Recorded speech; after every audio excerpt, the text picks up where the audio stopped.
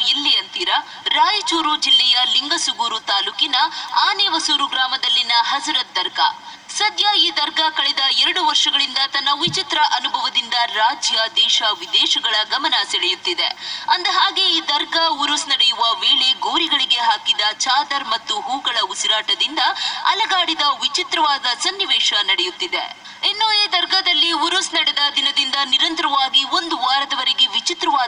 ವಿಸ್ಮಯ ಉಸಿರಾಟದ ಅನುಭವವಾಗುತ್ತಿದೆ.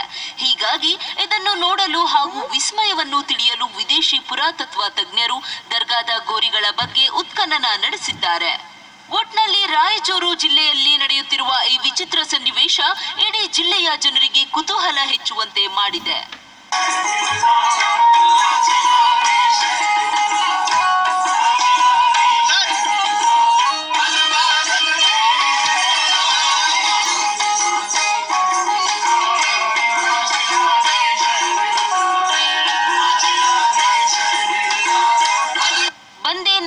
समग्र टीवी रायचूर।